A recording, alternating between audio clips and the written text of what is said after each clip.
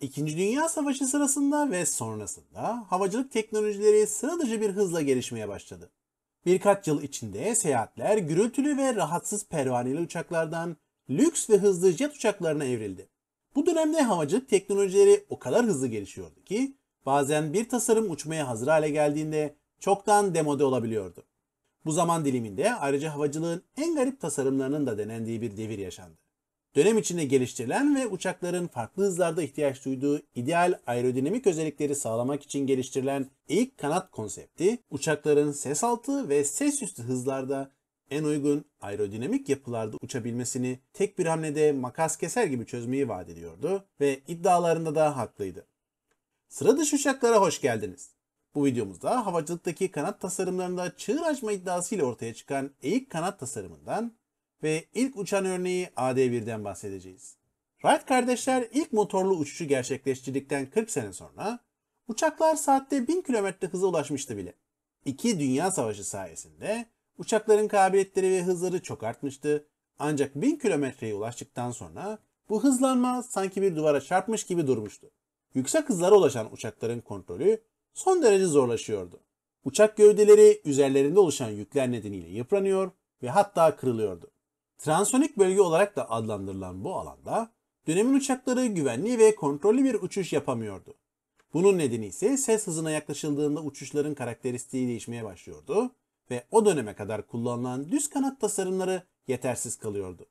1930'lu yılların ortalarında bu sorunu çözmek için yapılan çalışmalar sonrasında uçak kanatları açılı kanat şeklinde tasarlandığında artan hızlarda yaşanılan kontrol problemlerinin önüne geçildiği keşfedildi. Bu keşif sonrasında ise uçakların süratleri yeniden artmaya başladı. Ok açılı kanatlara sahip uçaklar artık rahatlıkla sesten hızlı uçabiliyor ve manevra yapacaklarında uçaklarını çok daha rahat kontrol edebiliyorlardı. Ancak açılı kanatlarında kendine has problemleri vardı. Bu tasarımdaki kanatlara sahip uçaklar başta kalkış olmak üzere düşük hızlarda problem yaşıyordu. Uçak mühendisleri tasarladıkları uçakların hem düşük hızlarda hem de yüksek hızlarda performanslı ve güvenli uçabilmesi için farklı yöntemler üzerinde çalışmaya başladı. En çok öne çıkan konsept ise uçaklarda değişken açılı kanat tasarımının kullanılmasıydı. Bu tasarımda kanatlar birer mil üzerine yerleştiriliyordu ve uçağın hızına göre kanatlar hareket edip kanadın açısını ve alanını değiştirebiliyordu. Bu teknik kontrol ve kaldırma konularında işe yarasa da başka problemlere yol açıyordu. Birinci problem kanatların konumu değiştiğinde uçağın kaldırma merkezinin konumunun da değişmesiydi. Bu ise uçağın seyir dengesini bozuyordu. Diğer problem ise kanatların konumunu uçuş sırasında hızlı ve güvenli bir şekilde değiştirecek olan mekanizmaların büyük, ağır ve pahalı olmasıydı. Hareketli parçaların titanyum ve benzeri yüksek dayanımlı malzemelerden yapılmasını gerektiriyordu. Ayrıca bu ağır ve hacimli yapıları taşımak için uçağın büyütülmesi zorunlu oluyordu. Bu ise daha büyük motorlar ve daha çok yakıt tüketimi demekti. Hem her hızda uygun kaldırma üretebilen, hem çok karmaşık olmayan hem de uçağı büyütüp fazla yakıt tüketmesine yol açmayan bir çözüm arayışı daha 1942'den itibaren üzerine çalışılan bir konu oldu. Sıra dışı uçaklar tasarlamakta ünlü olan Alman uçak üreticisi Blom Voss firması tarafından 2. Dünya Savaşı sırasında geliştirilen P-202 uçağı bu alandaki ilk tam boyutlu tasarım oldu. Savaş sırasında tasarım prototip aşamasına geçemedi. Ancak bu tür bir uçağın yapılabilirliğini kanıtlayan hesapları ortaya koymuştu. 1950'li yıllarda ise Amerika Birleşik Devletleri'nde henüz NASA haline dönüşmemiş Amerikan Havacılık Komitesi NACA bünyesinde delta kanat tasarımlarıyla adını duyuran mühendis Robert Thomas Jones hem düşük hem de yüksek hızlarda optimum manevra imkanı sunan ve kaldırma kuvveti üreten kanat yapıları üzerinde çalışmalar yürütürken ilk kanat yapısının faydalarını tespit etmeye başladı. Bu tasarımdaki kanatlar kalkış sırasında gövdeyle dik açıda olduğunda havalanmak için gereken kaldırma kuvvetini rahatlıkla sağlayabiliyordu. Normalde süpersonik uçuşlarda uygun olan kanat tasarımları kalkıştaki düşük hızlarda gerekli kaldırma kuvvetini üretemez.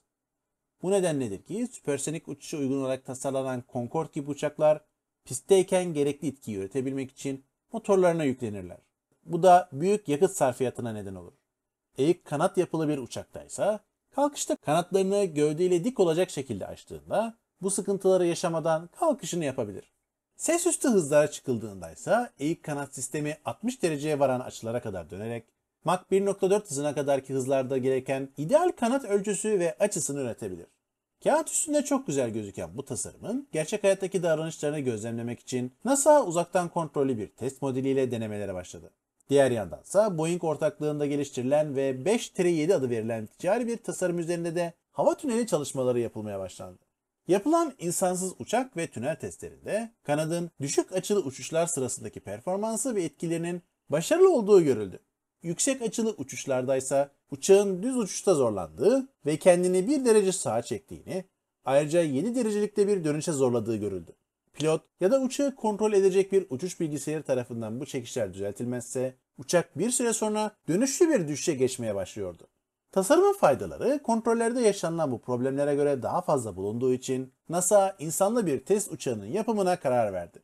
1976 yılında başlatılan AD-1 tasarımı, uçan makas olarak da adlandırılan tasarımın uçuş tepkilerini ölçecekti. NASA yeni bir kanat yapısı tasarımına bütçesinden fazla para ayıramadığı için tasarımcılar maliyetleri düşürmek için uçağın gövdesini karbon fiber ve plastikten imal etti. Uçağın kokpiti basit bir planör kokpitine benziyordu maliyetleri kısmak için uçağın iniş takımları dahi sabit yapılmıştı. İlk uçuşunu 21 Aralık 1979'da yapan uçak, görev süresi boyunca 79 sefer gerçekleştirdi. Bu testler sırasında uçağın kanatlarını 45 dereceye kadar döndürdüğü uçuşlarda kontrollerin dengeli olduğu görüldü. Ancak 45 derecenin üstündeki eğimlerde yapılan uçuşlarda uçağın daha önceden yapılan insansız uçuşlar ve rüzgar tüneli testlerinde görüldüğü gibi denge problemi yaşamaya başladığı tespit edildi. Düz uçuş ve manevralar için bir pilotu zorlayabilecek bu dengesizliklerin fly-by-wire özelliğine sahip bir uçuş bilgisayarı ile çözülebileceği görüşü ortaya çıktı.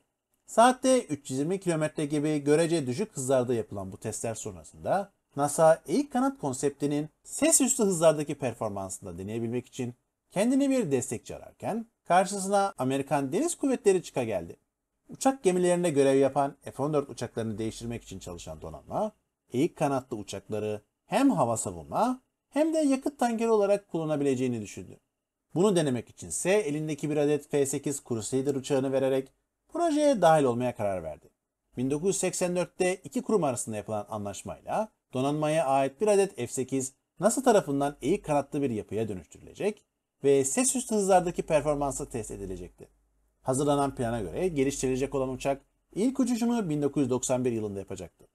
Çalışmalar devam ederken 1986 yılında donanma bütçe tasarruf çalışmaları nedeniyle projeye olan desteğini durdurdu. NASA ise tek başına projeyi destekleyecek bütçeyi denkleştiremediği için programı sonlandırmak zorunda kaldı. Askeri alanda desteğini kaybeden uçan makas konsepti, uçak tasarımlarında gelenekselliği tercih eden sivil havacılık sektöründen de talep görmedi. AD-1'de umut vadeden bir tasarımın test edildiği özel bir uçak olarak havacılık tarihindeki yerini aldı. Sıra dışı uçakları izlediğiniz için teşekkür ederiz. Videomuzu faydalı bulduysanız lütfen beğenin ve paylaşın. Teşekkür düğmesine tıklayarak ya da katıl butonu ile kanalımızı destekleyebilir. Havacılık tarihinin sıra dışı tasarımlarına ait videolarımızı kaçırmamak için kanalımıza abone olabilirsiniz.